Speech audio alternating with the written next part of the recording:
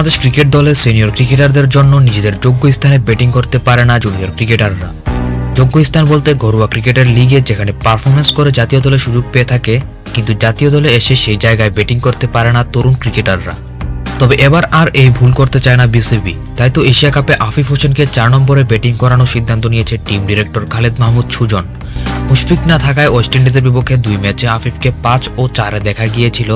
জিম্বাবুয়ের বিপক্ষেও প্রথম ম্যাচে তিনি নামেন পাঁচে পরেরটায় চারে। শেষ ম্যাচে মাহমুদুল্লাহ একাদশে আসার পর আফিফকে নামানো হয় ছয়ে। এশিয়া কাপে দলে ফিরেছেন মুশফিক, আছেন মাহমুদুল্লাহ।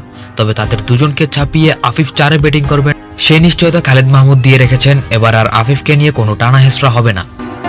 দলের টিম ডিরেক্টর খালেদ মাহমুদ সুজন সোমবার গণমাধ্যমে বলেছেন, আমরা মনে করি আফিফকে ওই জায়গাতেই খেলানো উচিত, কারণ সে আমাদের ভবিষ্যৎ, সে আমাদের পরবর্তী খুব গুরুত্বপূর্ণ ক্রিকেটার।